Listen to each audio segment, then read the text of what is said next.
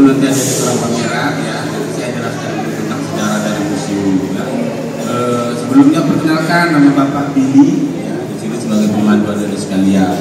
Sebelum nanti ke ruangan ya ini sejarah museum ini ya museum ini diresmikan pada tanggal 19 April tahun 1982 tahun berapa? tahun berapa? ya, 1982 oleh namun peletakan koleksi pertama itu berupa arca yang diletakkan oleh Presiden kita yang pertama yaitu Yusuf Soekarno ya. Sehingga museum ini dulu dikenal dengan Museum Burung Arca. Ya. Apa itu pengertian dari museum? Pengertian dari museum adalah suatu lembaga yang bersifat tidak mencari keuntungan dan terbuka untuk umum. Ya,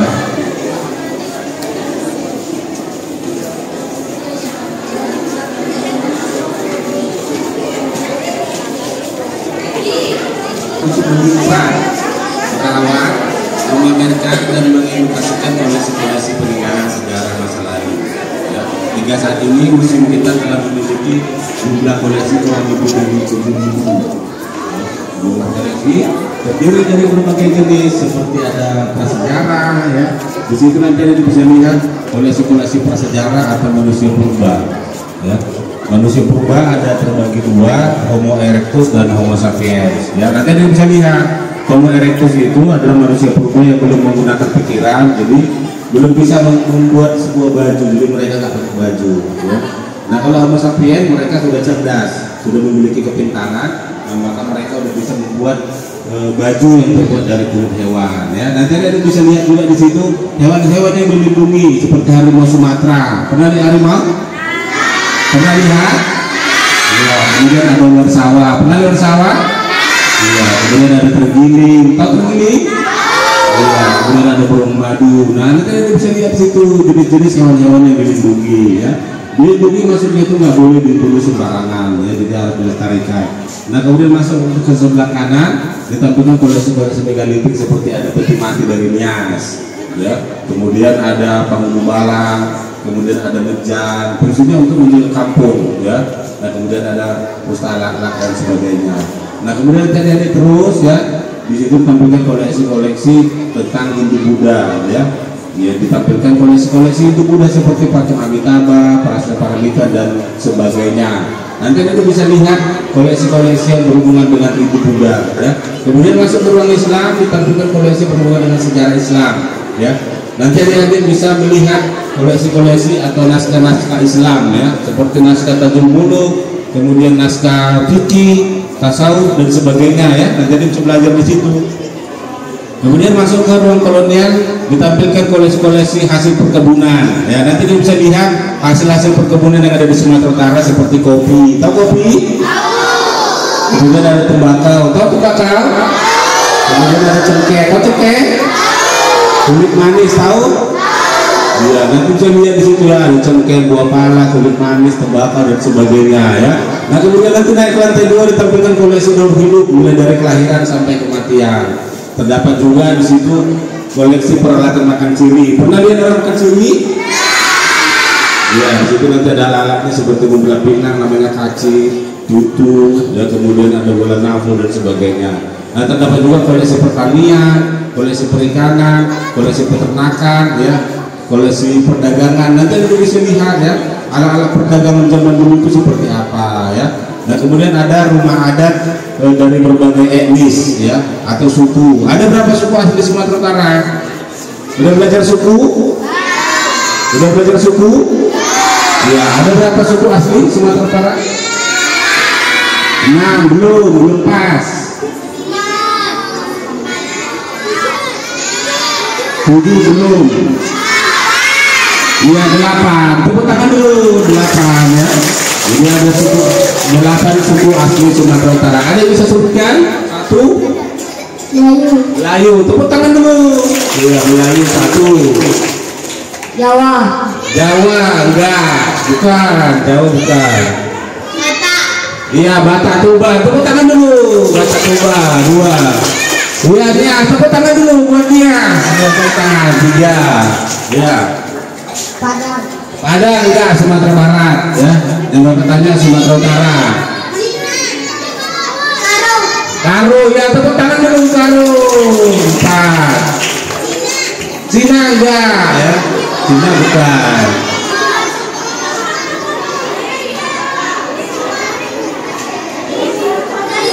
Suku Dayak. oh Dayak bukan Kalimantan ya ya ya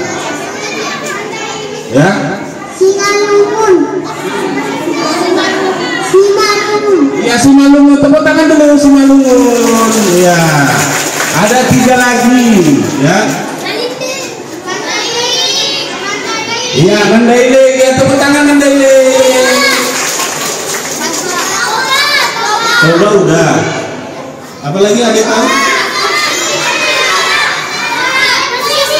Angkola ya udah, Angkola udah. Iya, tepuk tangan dulu lagi. Ada yang tahu? Iya, yang lain itu Nias. Kemudian Melayu, ya. Oke kita itu sama-sama ada lima suku asli eh, di Sumatera Utara. Yang pertama Batak Toba. Ada orang Batak Toba? Angkat tangan. Ada? Iya, iya, iya, iya. Oke. Yang kedua Karo. Tunjuk tangan Karo. Iya. Jangan-jangan nggak tahu di sukunya suku apa, ya. Yang ketiga Simalungun. Tunjuk tangan Simalungun. Iya satu. Karo tadi dua, Batak dua, ya. Kemudian Angkola Mandailing lima, ya. Papa Dairi, Papa Dairi, nggak ada. Melayu, ya Melayu, ya duduk. Angkat tangan itu lah, bukan berdiri ya duduk. Melayu duduk. Ya. Kemudian Nias, Nias, Ya, nggak ada. Ada Nias. Kok hitam? Ya, nggak ada. Kemudian pesisir. Nggak ada. Jadi di sini cuman yang ada lima etnis ya. Eh, Pak Pak Dairi, Nias, pesisir nggak ada. Jadi yang ada di sini cuma lima etnis. Jawa. Oh ya, banyak Jawa. Ya, oke. Oke lanjut ke ruang selanjutnya terdapat eh, koleksi berbagai tenun yang ada di Sumatera Utara ya. Kalau dari Batak Toba namanya Ulos, dari Karo Luis, dari Simalungun Hiu, dari Papak dari Oles ya nanti bisa lihat di situ ya.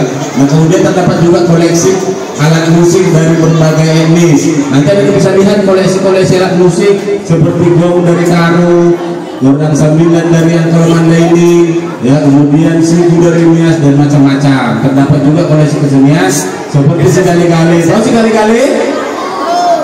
Tahu sekali-kali? Suaranya mana? Sekali-kali tahu? Iya, terdapat juga permainan tradisional seperti congklak. Tahu congklak? Iya, kemudian ketapel. Tahu ketapel? Kemudian ada patu lili. Tahu?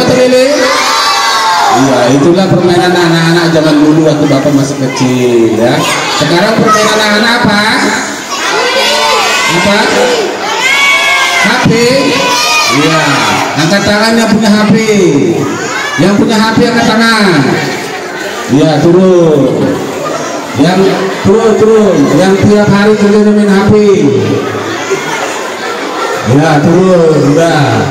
Yang tiap hari tiap malam nggak pernah belajar angkat tangan dulu ya nggak pernah belajar ya jujur ya jujur nggak pernah belajar angkat tangan tinggi tinggi ya turun udah ya jadi nggak boleh ya jadi setiap malam harus belajar malam harus belajar iya tidak boleh terus main HP nanti matanya nanti matanya Iya. Nah, itu nanti ke bawah terdapat koleksi-koleksi pers atau koran-koran zaman dulu. Terdapat juga senjata pejuang kita melawan penjajah apa? Bambu runcing. Apa lagi ini? Tombak, ya. Nanti baca pisau dan sebagainya. Iya. Iya. Kemudian nanti ada juga putu-putu pahlawan nasional. Udah belajar pahlawan nasional? Iya. Sebutkan lima pahlawan nasional Sumatera Utara. Soekarno. Soekarno bukan. Ya, Sisinga aja tepuk tangan dulu. Sisinga Mangaraja. Jenderal Ahmad Sution. Ahmad Sution tepuk tangan betul. Dua, tiga lagi. Amir Hamzah ya tepuk tangan dulu Amir Hamzah.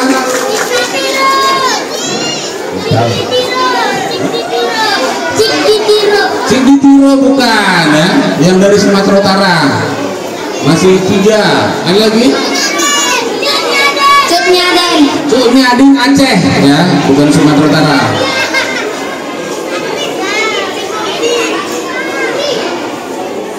Dewi Sartika, gimana sih? Dewi Sartika bukan ya, ya bukan, bukan dari Sumatera Utara ya. Hah?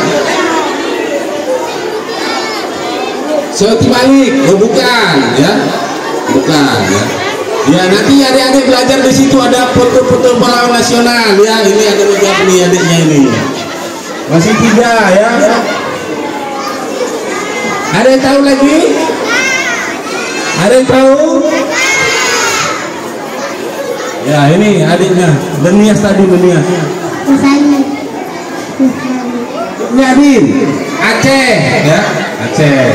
Oke nanti ada yang belajar di situ ya pahlawan nasional nanti bisa kenalan dengan pahlawan nasionalnya. Ada fotonya. Tunggu mau ke mana? Ya. Oke cukup sekian. Ada pertanyaan? Ada pertanyaan? Ya sebelum kurang pameran ada tidak ada yang sampaikan. Yang pertama tunggu. Yang pertama dilarang lari-lari di ruang pameran. Bisa? Yang kedua dilarang makan dan minum di dalam pameran. Bisa ya? Yang ketiga dilarang pegang kaca vitrin. Yang kotak itu namanya kaca vitrin nggak boleh dipegang-pegang. Nanti tangannya lengket ya. Bisa? Ya, oke cukup sekian. Selamat datang di Museum Negeri Provinsi Sumatera Utara. Tunggu dulu, ya. Sampai jumpa di lain kesempatan ya. Tepuk tangan untuk kita semua. Oke, silakan berdiri, silakan ke pameran.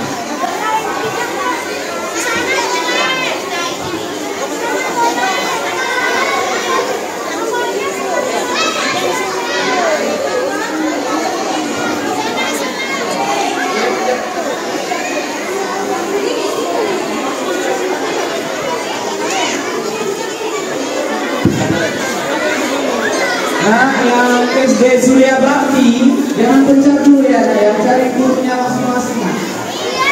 Baik cari gurunya. Nah, cari selesai.